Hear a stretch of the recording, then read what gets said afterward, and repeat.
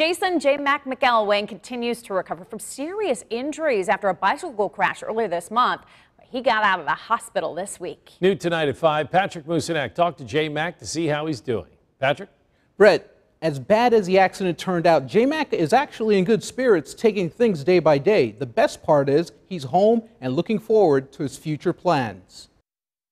I'm doing a little better every day. There's some pains at certain movements, but I'm uh, I'm okay.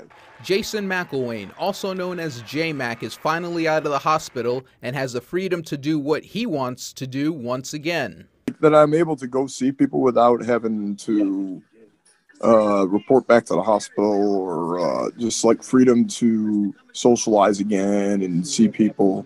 On June 13th, J-Mac was on his way to work as a bus monitor for Greece Central Schools when he crashed his bicycle into a car on Long Pond and Latta Roads. He broke several ribs and suffered a collapsed lung.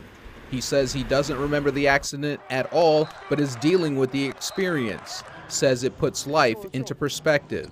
Don't take any any day for granted. Um, don't take any wake up for granted. Don't take any um, any day that you ha- that you're able to walk for granted. In high school, J-Mac was a basketball manager for Greece Athena. During his senior year, he became a national celebrity after sinking six three pointers in one game and scoring 20 points altogether. It was his first and only game.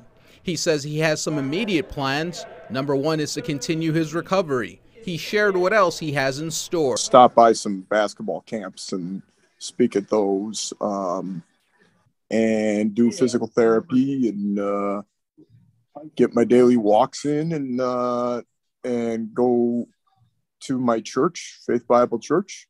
J-Mac wanted to share one last message. Grateful for the Rochester area for all their support. While in the hospital, J-Mac was encouraged when doctors and nurses would talk to him about basketball and the game that made him famous. Brett?